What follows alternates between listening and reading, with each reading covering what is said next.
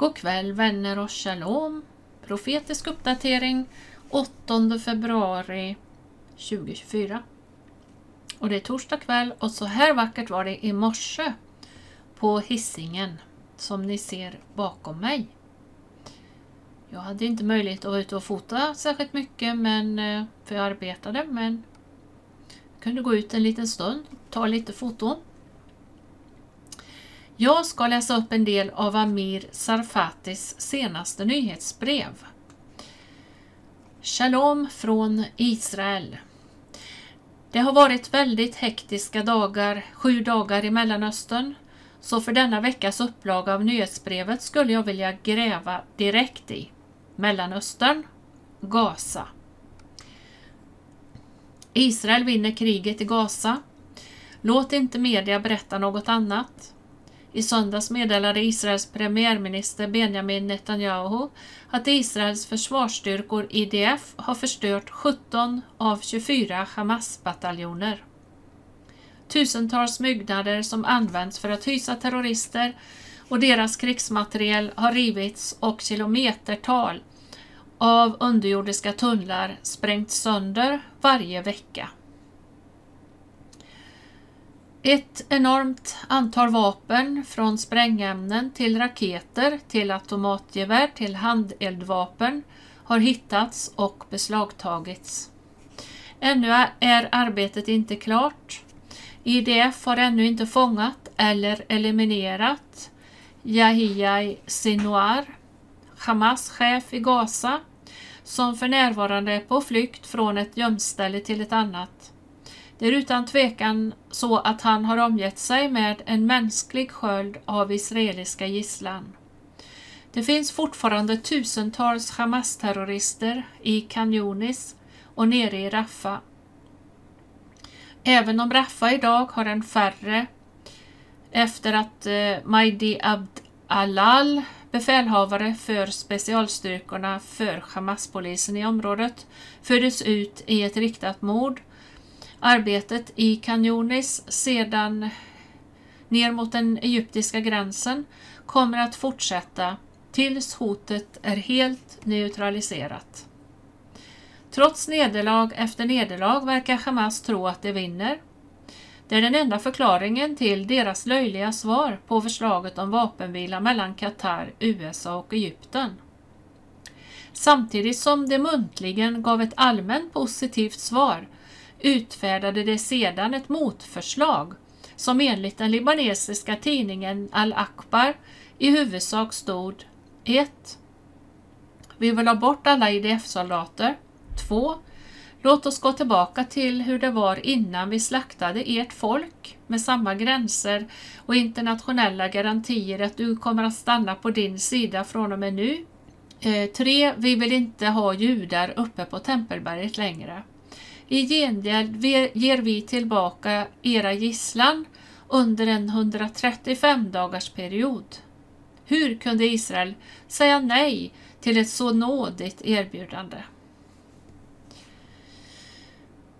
Tyvärr, det verkar som om Israel faktiskt kommer att säga nej.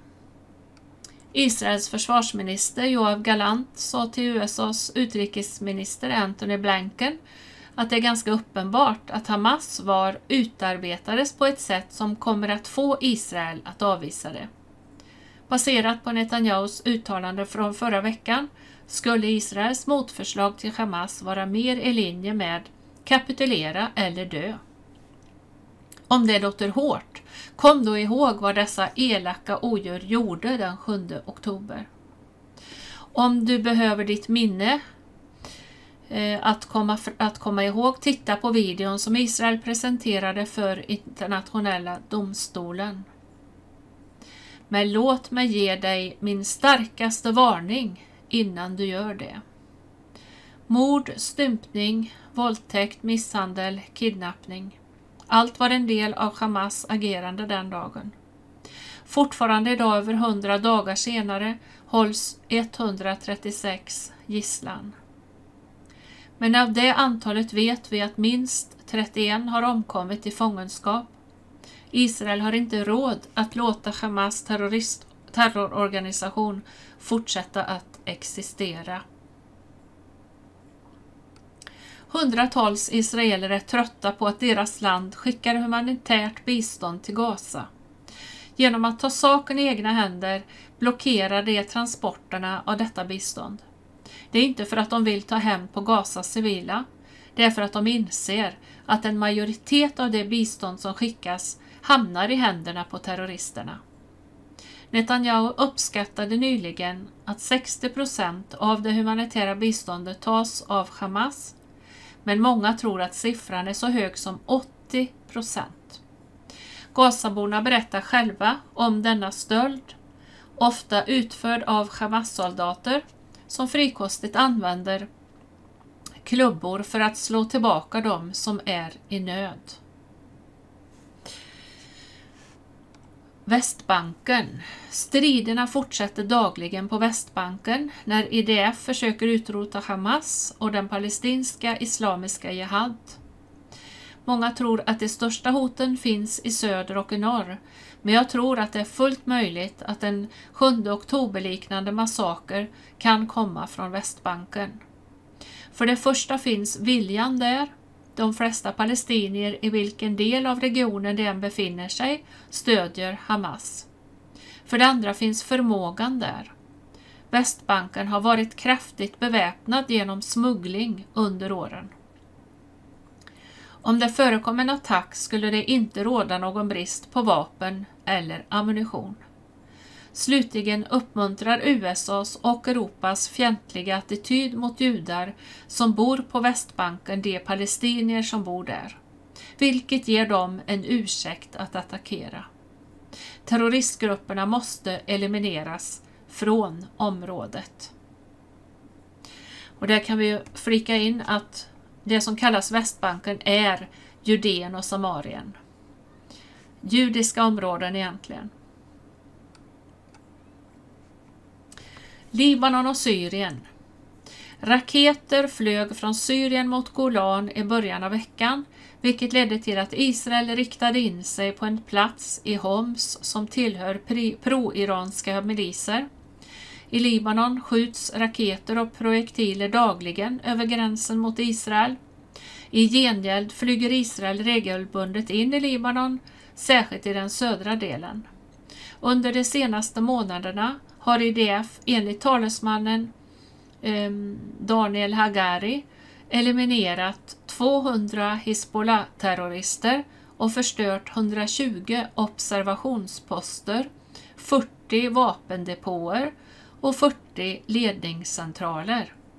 Det är viktigt att IDF mjukar upp Hizbollahs infrastruktur i södra Libanon innan Israels norra gränskrig börjar.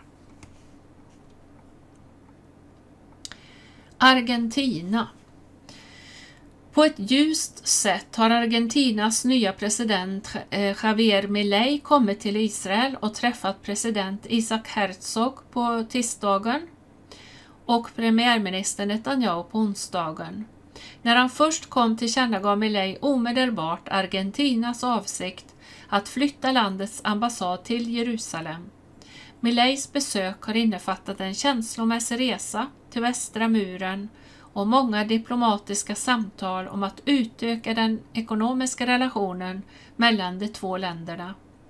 Tack president Milei och Argentina för att ni visar att ni är stora vänner till Israel. Saudiarabien Riyads regering har lagt ner mycket ansträngning på att försöka reparera skadorna som orsakats av USA när det läcktes ut till media att Saudiarabien var villigt att mildra sin position gentemot Israel, även medan Gaza-konflikten fortsätter. Detta rykte bekräftades sedan av USAs utrikesminister Blinken. Anklagelsen väckte stor förlägenhet för saudierna som faktiskt driver en starkare relation med Israel men på ett extremt tyst sätt. Denna läcka till media tvingade Riyadh att gå ut med ett starkt förnekande och påstå att en relation med Israel inte kommer att normaliseras utan en palestinsk stat. Ja, det är intressant att få höra vad som ligger bakom uttalanden och ageranden. som i media inte vet om eller talar om och inte vill veta. Mainstream media vill ju inte veta hur det egentligen ligger till. De vill ge sin vinklade bild för det mesta.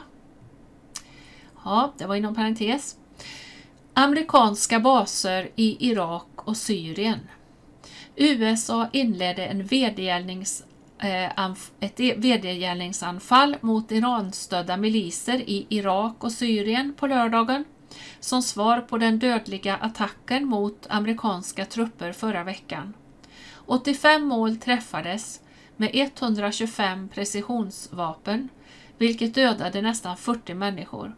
På måndagen var dock milisen tillbaka i action och genomförde en drönarattack på den amerikanska basen vid Al-Omar oljefält som dödade sex USA-allierade kurdiska krigare. Igår kväll tog USA mer beslutsamma åtgärder mot Kat eh, Kataib Hizbollah, den Iranstödda milisen Eh, ansvarig för attacken den 28 januari på en amerikansk bas som lämnade tre amerikanska soldater döda. En missil avfyrad från den amerikanska drönaren förstörde en bil som färdades i östra Bagdad. Bland de tre dödade i fordonet var Abu eh, Bakir al-Sadi, befälhavaren för Kataib Hizbollahs operationer i Syrien och mannen som var direkt ansvarig för den dödliga attacken som dödade de tre amerikanska eh, soldaterna.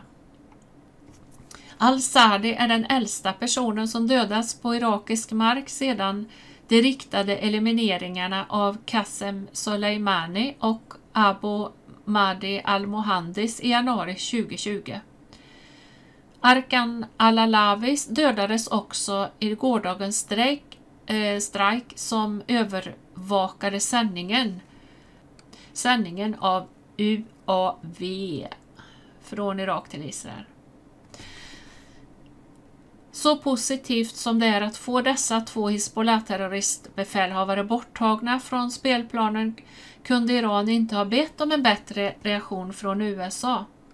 För det första dödades ingen iranier eller skadades tillgångar på iransk mark. Förlusten alltså av Soleimani för fyra år sedan var förödande för Iran eftersom han var en perser som ledde IRGCs eh, eh, KADS-styrka. Däremot var al-Sadi och al-Alawi inte iranska utan irakier. Således Även om deras färdigheter kan missas är de fortfarande bara förbrukningsbara araber till Iran. För det andra ägde morden rum i Irak och kränkte den irakiska suveräniteten. Detta ger irakierna en ursäkt att sparka ut amerikanerna och den proiranska terroristmilisen en anledning att söka hämnd mot amerikanska trupper och tillgångar. Återigen förblir Irans persiska händer rena medan deras arabiska undersåtar spiller blod för att främja Teherans agenda. På lördagen i Jemen slog USA och Storbritannien hårt tillbaka mot Houthi-infrastrukturen i Jemen 36 mål träffades på 13 platser som vedergällning för hotiernas nästan dagliga missil och drönarattacker mot sjöfart i Röda havet och Adenbukten. Regeringen i Jordanien är i varmt vatten efter att det upptäcktes att den deltog i en landbro för att få nödvändiga varor till Israel. Fartyg la till i Förenade Arabemiraten och deras innehåll lastades på lastbilar. Dessa lastbilar kördes sedan tvärs över Saudiarabien, genom Jordanien och in i Israel och kringgick därmed Houthi-blockaden av Röda havet. Natos Turkiet har äntligen gett sitt okej okay att Sverige går med i Nato. Det borde röja vägen, eller hur? Vänta en minut Ungern släpar fortfarande fötterna efter sig. Medan vissa säger att det är en internpolitisk fråga med president Viktor Orbáns parti som säger att Sverige har ljugit om kvaliteten på deras demokrati säger andra att det är Orban själv som blockerar vägen. De hävdar att presidenten, som kanaliserar sin inre Rodney Dangerfield, känner att Ungern inte får någon respekt från Sverige. Orbán twittrade dock att han hade pratat med Natos generalsekreterare och uttryckte sitt stöd för Sveriges medlemskap. Oavsett vad den verkliga historien är måste Ungern få reda på det. Genom hela Gamla testamentet avslöjas återkommande profetier och insikter om en framtid på jorden där det inte finns något krig, inga förbisedda orättvisor och ett övergripande tema av återställande. En ära, era, då skaparen tjänar som kung. Förutom att profeterna talade om detta och Jesu lärjungar förutsåg det, förstärkte apostlarna det. Vad är millennium? Är det något som kommer eller något som upplevs nu? Är det något som ska tas bokstavligt? Och så berättar Amir där med olika besök han har gjort och undervisning. Hans eh, telegramkanal som vi ju översätter till svenska i, från Parousia Mission eh, skriver Amir här att det är ett konstant flöde av nyheter under hela dagen. Prenumerera på min kanal för att se till att du vet exakt vad som händer. Och Det kan man göra om man förstår engelska. Vi översätter ju bara det till svenska och andra från Israel som är inne på Telegram och ger ut nyheter och information. Och så avslutar Amir här. Tack för dina ständiga böner och ditt trogna stöd till Israel. Och Behold Israel, det är ju den eh, organisation som han har där. Det här kan bli mycket ansträngande år runt om i världen. Med din hjälp kommer vi att kunna hjälpa människor att förstå galenskapen runt dem genom att filtrera det genom en biblisk lins. Gud har kontroll och tillsammans kommer vi att se till att världen påminns om den underbara sanningen i väntan på hans återkomst. Så var det slut från Amir. Ja, det är mycket som händer. Det är mycket oro i världen. Och det är mycket som händer runt omkring både när det gäller krig och rykten om krig och, och um, vulkanutbrott och, och jordbävningar och annat som det pågår ju hela tiden. Fast vi bara hör om de allra största naturligtvis. Men det finns ju att eh, följa om man vill på nätet. Eh, de senaste jordbävningarna. Det skakar. Men eh, det här är väl det som vi ska hålla fast vid och påminna oss om att Gud har kontroll. Precis som Amir skriver, Gud har kontroll. Och det är till honom vi får gå. I det gamla förbundet, i Gamla testamentet, så läser vi om överste präster och även in i Nya testamentet. Fram till Golgata. Fram till försoningen som Jesus fullbordade där. Så var det överste prästerna som gick in en gång om året i det allra heligaste för att bringa försoning för folkets synder, för sina egna synder och som gick in i förbön för folket. Och um, nu läser vi Hebreerbrevet 4 från vers 14 då vi nu har en stor överstepräst. En stor överstepräst, det betyder en överstepräst över alla andra överstepräster. Jesus, Guds son. Jeshua, Guds son, som har stigit upp genom himlarna så låt oss alla eh, låt oss hålla fast vid vår bekännelse. Ty vi har inte en överstepräst som ej kan ha medlidande med våra svagheter, utan en som blev frestad eller prövad i allt, liksom vi, men utan synd. Låt oss därför frimodigt gå fram till nådens tron för att få barmhärtighet och finna nåd till hjälp i rätt tid så är vägen alltid öppen för oss att gå in för nådens tron och be till Herren, vår Gud. Det är underbart.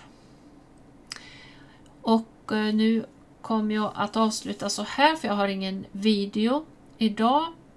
Så får vi se om vi kanske drar ner lite på våra profetiska uppdateringar så att det inte blir både morgon och kväll utan vi kommer troligen att minska en del. Men vi kommer att ge en del eh, fortsätta med profetiska uppdateringar men då kanske en gång per dag eller möjligen någon extra gång men vi känner väl att det kan bli lite tufft att fortsätta så här hela tiden. Det kan ju vara vissa perioder som, som det kan, om det händer mycket så att säga, som vi kan återgå men det är så, bara så ni är beredda på det. Men vi, eh, vi är tacksamma för att vi kan gå ut med information och nyheter och sprida Guds ord också på det här sättet. Det är vi tacksamma till Gud för så länge det går och vi kan och vi får. Så fortsätter vi. Jag önskar er Guds välsignelse och tackar för mig för idag. Shalom.